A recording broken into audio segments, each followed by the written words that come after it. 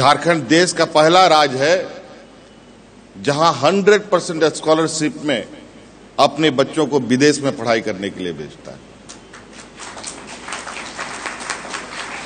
और कोई हम बॉन्ड नहीं लिखाते हैं कि तुमको मैंने एक करोड़, दो करोड़ रुपए तुम्हारे ऊपर खर्च की तो पढ़ाई पूरी करने के बाद सरकार को सेवा देना।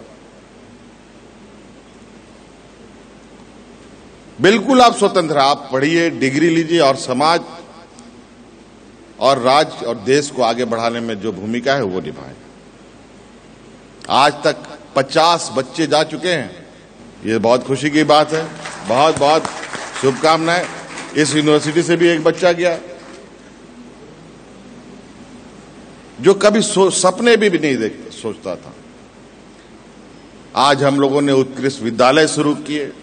आज जिस तरीके से कंपटीशन का दौर है, सरकारी स्कूल की जो स्थिति है, वो भी पता है। क्योंकि मैं खुद सरकार का एक मुखिया होने के नाते बहुत ज़्यादा बुराई तो नहीं, लेकिन आप लोग खुद ही जानते हैं। लेकिन मैंने कहा, वो सब चलने दो।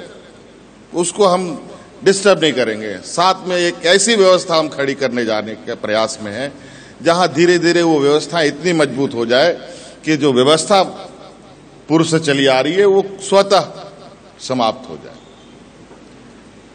आज उन स्कूलों में जो शिक्षक जाते हैं, वो आईआईएम से हम लोग ट्रेनिंग करा करके वहाँ भेजते हैं। झारखंड के जड़ को मज़बूत करना है। पत्ते और टहनी मज़बूत नहीं हो सकते।